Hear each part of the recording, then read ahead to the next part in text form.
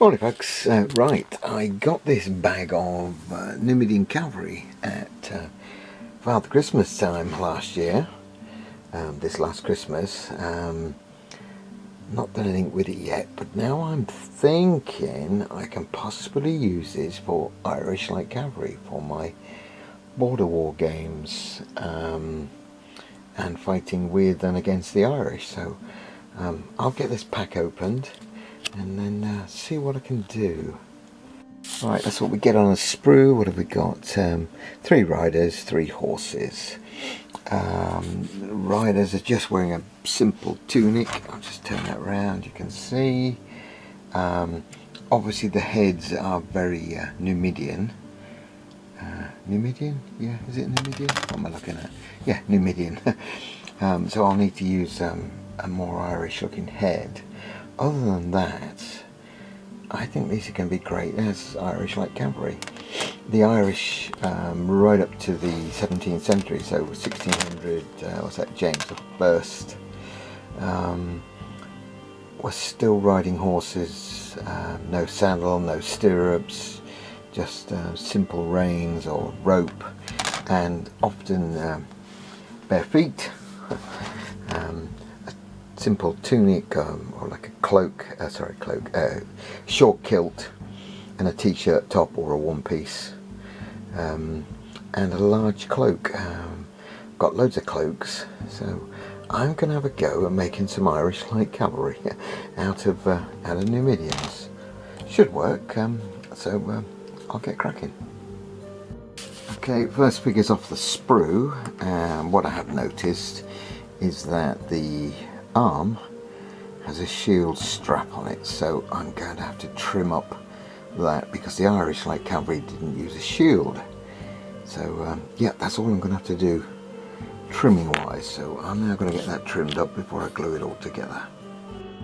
There's the uh, first figure clipped and de-sprued now to me he will do as Irish see see there I put the uh, Germanic head on which is just a shaggy looking head.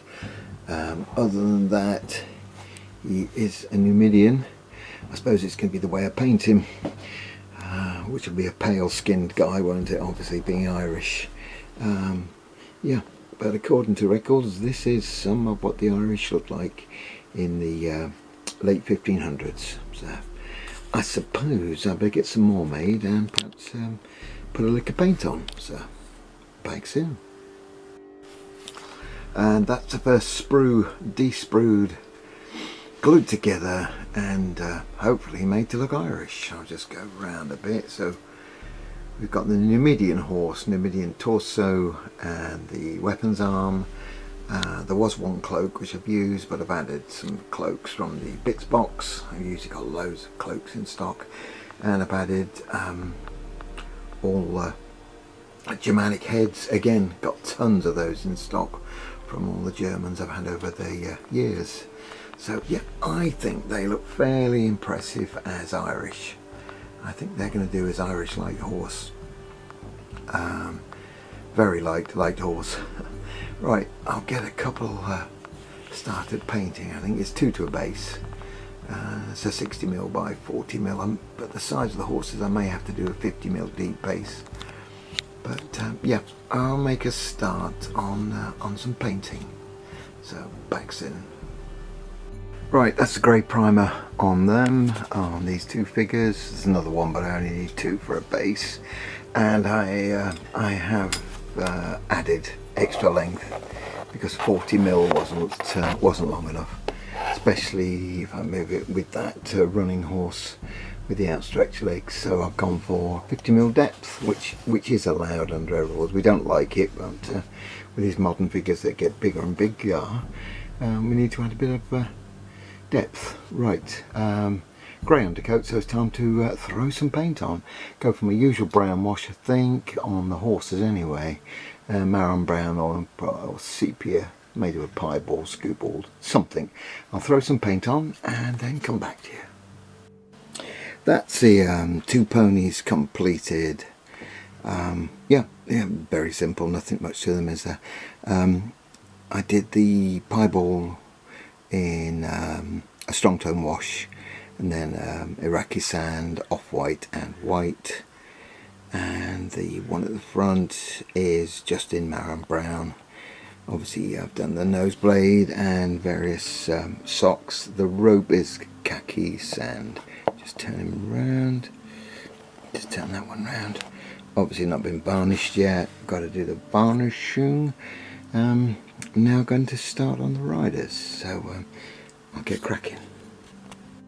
And there we have the first two Irish Light Cavalry just about finished. As you can see impaled on stakes at the moment and I've added some impaling devices on top to the horses uh, to locate the um, riders. I found with these riders without saddles um, on biggers that uh, even with super glue they often uh, come off which tends to rip the paint off and then it's a pain trying to match up with the paint. So I've just added some spikes for them to sit off to sit on. It'd be painful for a while, but uh, I'm sure they'll get used to it. Okay, so everything's finished. Just going a bit closer and see those. Yeah, horse is finished. Obviously, rider's finished. Very shiny. So I'm now going to add the matte varnish, and then I'll get them all based up and come back for a uh, final roundup. So back soon. There we have it. Figures finished. Um, all completed uh, matte varnished um, and I'm very pleased with these. As I say these were Numidian light cavalry converted to Irish light cavalry. Yeah I think they work well so um, uh, there's uh, 12 in the pack these two so I've got 10 more to get on with. Um, I think I'm going to make a start on the other 10 yeah no problems. Um, obviously having uh, a stash of capes in my uh, spares helps uh, that means I can give every figure a cape, which I think would be needed in the uh, climate of Ireland. Um, yeah, very cold there, very cold. And I'm assuming during the 16th, 17th century it was also cold. I don't remember or recall there being any uh, global warming in Ireland in the, in those centuries. So uh, yeah, I think cloaks going to be needed. Just wearing these um, short tunics or trews that they wear, uh, barefooted and often bare-chested. I'm very pleased with uh, my piebald horse. I checked up on Tinternet and it is a piebald, uh, which could be a brown and white or a black and white. Um, well, that's what Google calls a piebald. Yeah, came up very, uh, very well, I think, and so um, I'm going to have to do some more of these. Okay, so that's enough waffling. Uh, time to get on with uh, building more figures and painting more figures. So uh, thanks for checking in and uh, bye for now.